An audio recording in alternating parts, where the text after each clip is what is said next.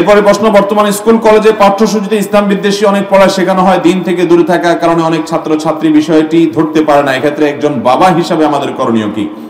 খুবই প্রাসঙ্গিক প্রশ্ন ভাই। বিশেষ করে এই বছর ষষ্ঠ এবং সপ্ত শ্রেণির, সপ্তম শ্রেণির যে ইতিহাস ও সামাজিক বিজ্ঞানের বই, এই বই এবং আরও অন্যান্য বইও, এমনকি মাদ্রাসা শিক্ষার ইংলিশ ফর টুডে বইয়ে গত বছরও মাদ্রাসার বইয়ের কভারে দুইটা বাচ্চার ছবি ছিল, বা চারটা বাচ্চার ছবি ছিল, ছেলে বাচ্চাদের মাথায় টুপি, মেয়ে বাচ্চাদের মাথায় ওড়না, হিজাব ছিল।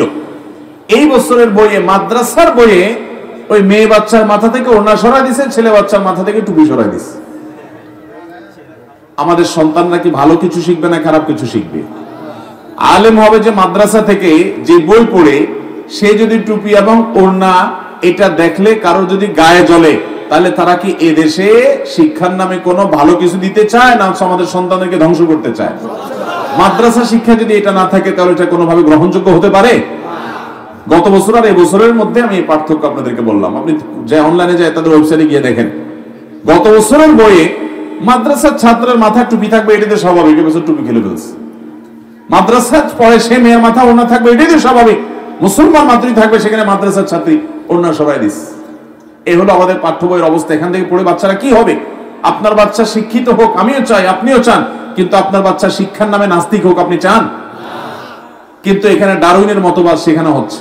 এখানে বিবর্তনবাদ শেখানো হচ্ছে। বলা হচ্ছে, বানর, শিম্পাঞ্জি, এরা যে প্রজাতির মানুষ নাকি আমরাও নাকি সে একই প্রজাতির। ওরা যে পশু থেকে আসছে, আমরাও নাকি শত শত বছর পরিবর্তন হয়ে এই বানর জাতীয় ছিলাম, ওখান থেকে মানুষ হয়ে গেছে। এই বিশ্বাস যদি আপনি করেন, তাহলে কোরআনে যে আল্লাহ বলেছেন, মানুষকে আল্লাহ তালা মাটি থেকে তৈরি করেছেন, কাদা মাটি থেকে তৈরি করেছেন, আদমকে নিজে হাতে আল্লাহ তালা তৈরি করেছেন, আল্লাহ যে বলেছেন, আদম আলাইসালাম হাওয়াকে তৈরি করেছেন, তাদের পরে তাদের মাধ্যমে শত শত হাজার লক্ষ কোটি অগণিত মানুষ সৃষ্টি করেছেন, কোরআনে যে মানুষ সৃষ্টির ইতিহাস, মানুষ সৃষ্টির সূচনা এবং উদ্ভব ক্রমবিকাশ সম্পর্কে আলোকপাত করা হয়েছে, যদি ডারউইনের এই মিথ্যা ভুয়া ভিত্তিহীন এই থিওরি আমি বিশ্বাস করি, তাহলে কোরআন অবিশ্বাস করা লাগে কি লাগে না?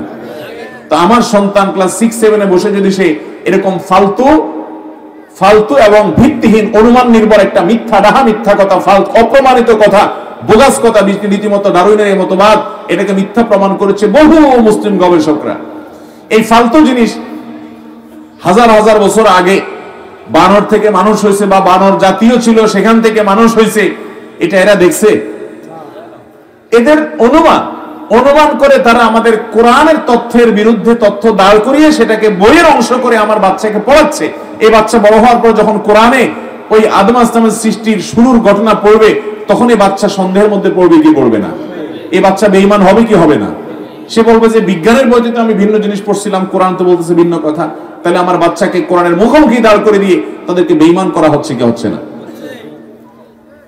ভাইরা আমার সমকামিতাকে সহজ করা হচ্ছে, স্বাভাবিক করা হচ্ছে আমাদের সন্তানদের কাছে।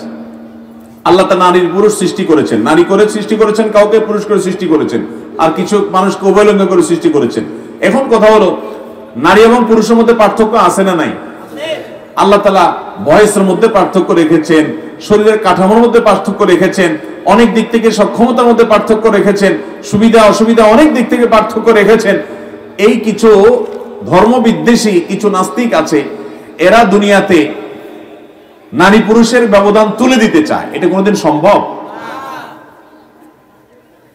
নারী পুরুষের ব্যবধান থাকার মানে এই না যে নারী হিসাবে জন্ম নিয়েছে সে খাটো, ছোট, আর পুরুষ হিসাবে জন্ম নিয়েছে সে বড়। আমি সেটা বলতে চাচ্ছি না। নারী এবং পুরুষের নানা দিক থেকে শরীরের কাঠামোগত বিভিন্ন দিক থেকে পার্থক্য আছে না নাই? এটাকে তুলে দেওয়া সম্ভব? তাহলে সৃষ্টিকর্তা কি কেন সৃষ্টি করেছেন দুই রকম করে? এখন একটা ছেলে, সে নিজেকে মেয়ে ঘোষণা করে মেয়ে হয়ে যেতে পারবে। একটা মেয়ে নিজেকে ছেলে ঘোষণা করে ছেলে হয়ে যেতে পারবে। এর মানে এর মানে সে মেয়ে ছিল, ঘোষণা করে যখন ছেলে হয়ে গেছে, তাহলে এখন আরেকটা মেয়েকে বিয়ে করবে।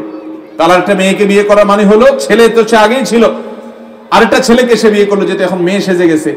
তাহলে ছেলে হয়ে ছেলেকে বিয়ে করল। ধরুন একজন মানুষ আগে থেকে মেয়ে ছিলেন। তিনি হঠাৎ বললেন, না, আমার মনে হচ্ছে আমি মেয়ে। শরীরের অবকাঠামো আগাগোড়া ছেলে। কিন্তু নিজেকে মনে হচ্ছে মেয়ে।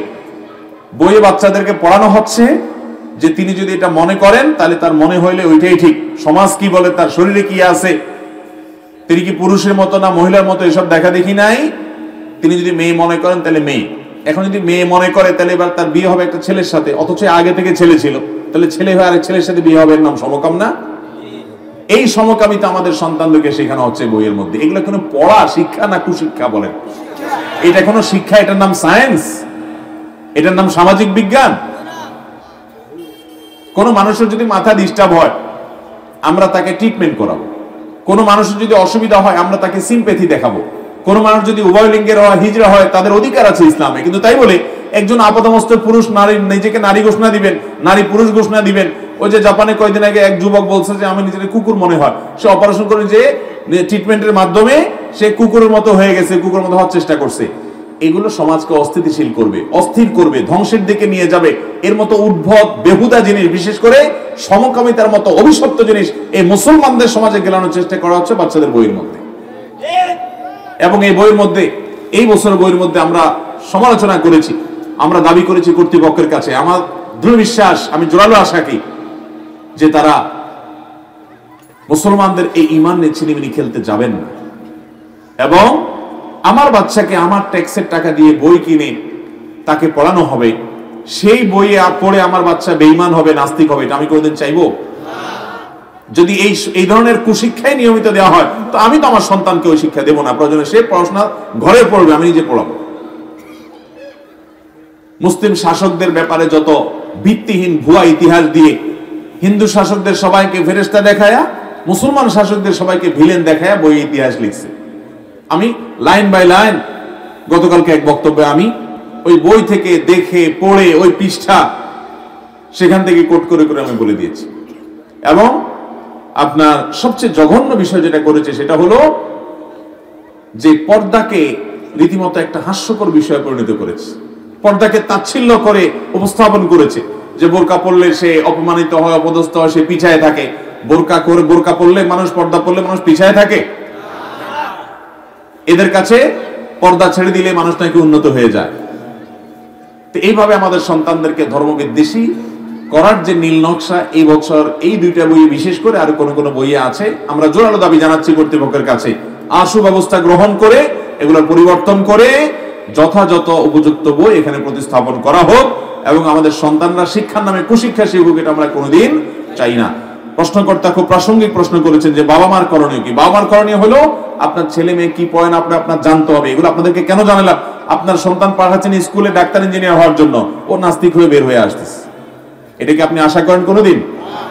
তাহলে সাবধান থাকতে হবে যে আমার বাচ্চাকে শিক্ষার নামে কি দেওয়া হচ্ছে। দায়িত্বশীল ভূমিকা রাখতে হবে এবং তাদেরকে ইমানের চেতনা দিতে হবে তাদের মধ্যে।